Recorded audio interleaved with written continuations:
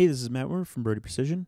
This video, we're taking a look at the new Niagara 4.13. This was just released and a whole bunch of new features. So let's take a look.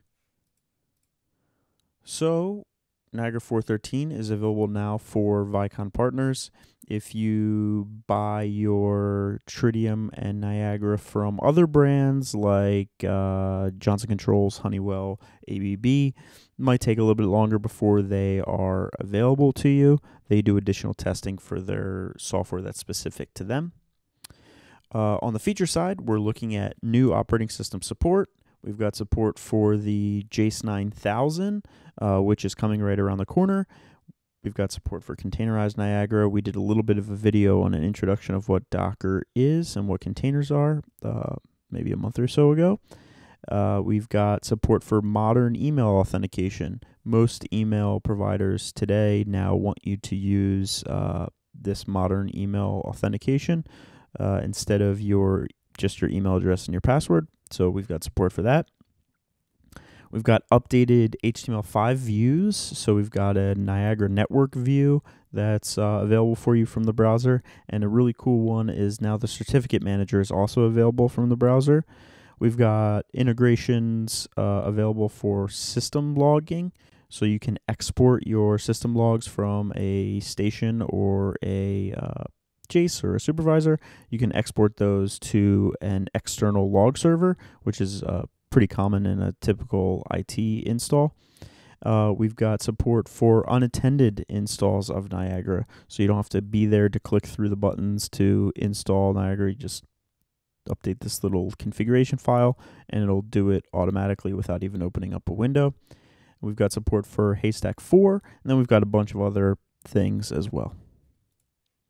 So first off, our new operating system support, full support for Windows 11, full support for Red Hat Enterprise Linux version 9, Ubuntu 22.04 if you're a Linux guy, and Windows Server 2022 is also supported.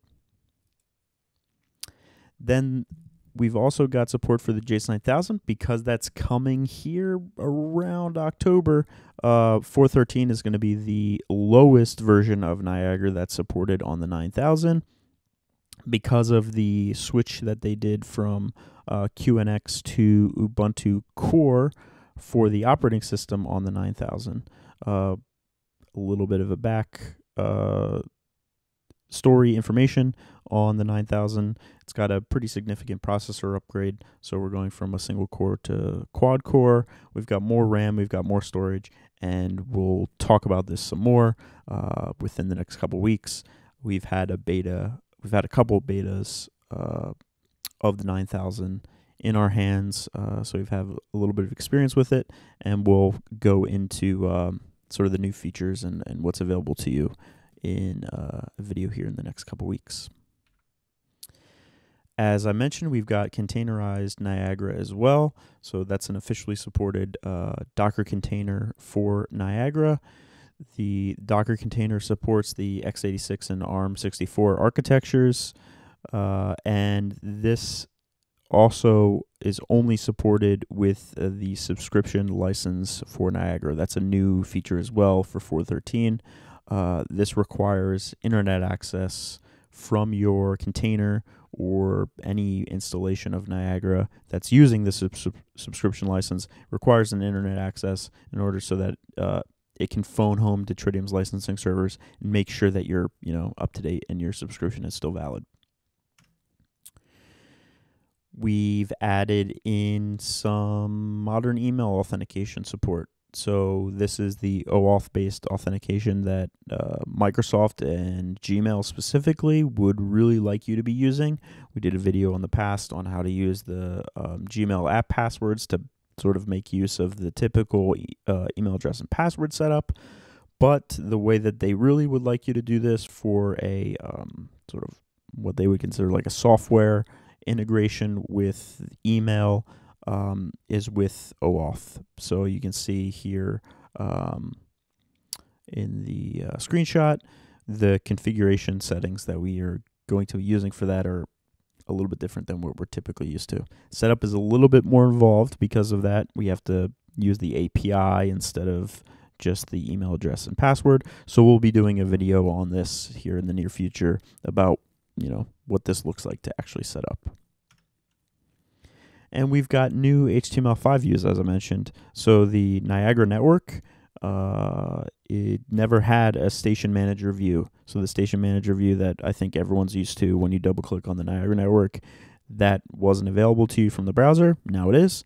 And the same thing with uh, your certificate manager. That was never available to you from the browser, but now it is. So let's jump into Niagara real quick and take a look at what these things look like. All right, we're in Niagara now, and I've got two station connections brought up in my browser. I've got uh, a connection to a supervisor that's running 412, and I've got a local station here that's running 413. So in 412, if we just real quick go into our config, uh, go into our drivers, and pull up the Niagara network, you'll see it brings us right to the property sheet. It doesn't even try to show a uh, station manager view. If we go over here to 413, if I double click on my Niagara network, now we have our normal station manager view that we're used to, where we can, you know, go in and add a station if we wanted to, um, do a discover, etc. Uh, also have a link to our certificate manager. That's the other updated uh, view that we never had from the browser.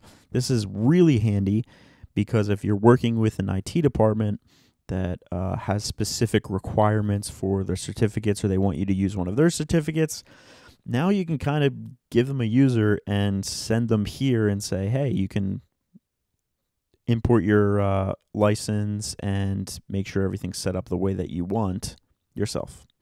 So those are our updated HTML5 views in 413. Okay, the next piece that we've got now is uh, the system log export. So this gives us the ability to export system logs to a central log server. This is pretty common with large IT departments where they've got a bunch of servers that they're managing and looking over.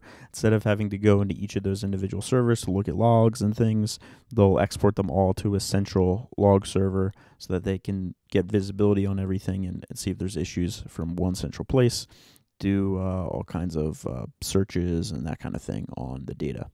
So we've got that ability now from Niagara. Uh, you can get it from your uh, platform, just platform, platform administration, and then there's a new button here, system log uh, configuration. And you can set that up as you can see with all these properties. And what that gives us the ability to do is look at uh, platform, station, workbench logs, and as well as station and security audits. Then we've also got the ability now to do unintended installs. This uh, lets you install Niagara without having to touch the mouse or the keyboard at all. Um, to do that, you're making what's called a silent.properties file, and that includes details about, you know, like what you want your system passphrase to be and uh, where it should be installed, what directory, and that kind of thing. Uh, we'll have more details in a future video showing you exactly how to do this, but features there and you can make use of it. Next bit is Haystack support. They've added Haystack 4 uh, tag dictionary, and this includes an action to upgrade your existing Haystack uh, tags to Haystack 4. Uh, just an action on the Haystack 4 uh, tag dictionary that you can add into your station.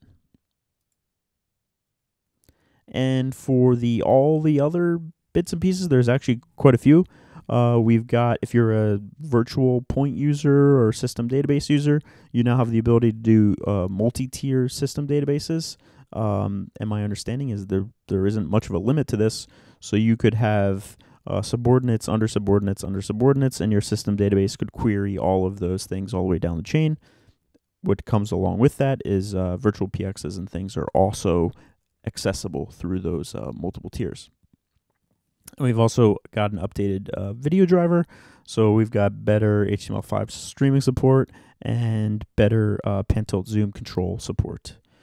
Enterprise security stuff has been upgraded as well. So optimized uh, join and replication processes Uh, I know there's some additional uh, new hardware coming in the security world as well down the road. Um, and then we've got some updates for Niagara Analytics. So supports for baselines, uh, more configurable configurable settings, so colors, time periods, uh, baseline time ranges, and then also uh, significantly updated documentation for the Niagara, Niagara Analytics product. So that basically covers uh, most of what's available in 4.13. As I mentioned, uh, the Vykon version is available now, and we've got it up on BP Tech Center if you're a Vykon partner. And um, if you have any specific features and things that you'd like to see covered, uh, feel free to leave them in the comments. And uh, if you're not subscribed, please do so and like the video. Thanks for watching, and we'll see you in the next one.